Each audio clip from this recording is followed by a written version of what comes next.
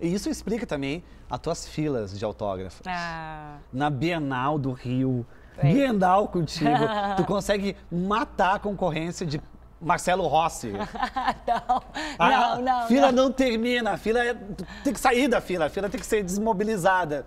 Como é viver com essa euforia? Porque tu não tem um leitor apenas, tu tem um fã. É. Eu vou te dar um tempo pra pensar, enquanto isso tu puxa a alavanca. Olha, já Que eu acho que tu puxar. vai gostar de Ah, mexer nela. então, Até o fim. Pode ir? Vai! Gostou das mãos habilidosas dela, Ah. máquina? Ih, meu Deus. Pilek! Isso aqui é um jogo de temas. Sei. A máquina manda temas pra nós Ah, e tu precisa discorrer a respeito de um deles. sei. No caso é Pilek. Pilek. Qual foi o maior Pilek da tua vida? Menino, mas foi faz tempo. Eu não sou de, de beber. Eu gosto de um vinhozinho, de uma cervejinha, mas tudo moderadamente, entendeu? Só o diminutivo já explica Já que tu bebe. explica. Não, mas eu gosto de vinho. Eu gosto mesmo de vinho e gosto de cerveja. Mas, por exemplo, vodka, passo mal. Então as pessoas, sabe, caipirinha, esse negócio ice agora que tem, eu Não. tô fora, não me dá azia. Mas não- tu bebe, tu sai com o teu marido pra beber. Meu marido não bebe.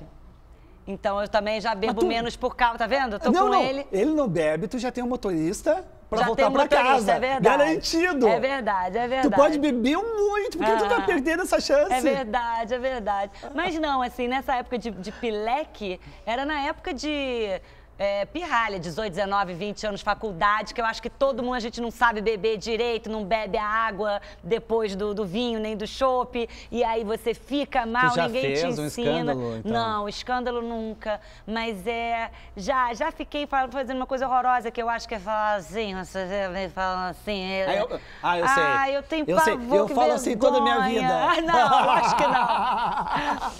Isso eu é nasci bêbado. Eu acho, não sei o que que tinha no ventre da minha mãe. Eu devia ser aquele caldeirão de vodka. Eu nasci bêbado.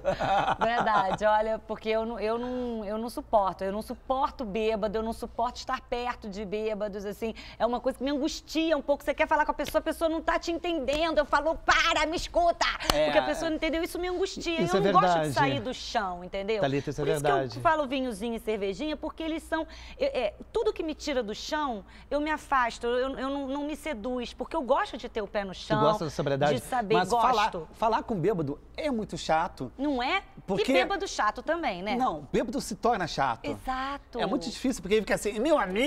Eu te amo! Eu te amo! eu te amo, Lindão! moça! É horrível. chato. Não, e, e tu quer ser inesquecível. e tu vai falar pro bêbado, o bêbado não vai lembrar daquilo que tu falou, tu nunca vai ser Nunca. inesquecível. Exatamente, exatamente.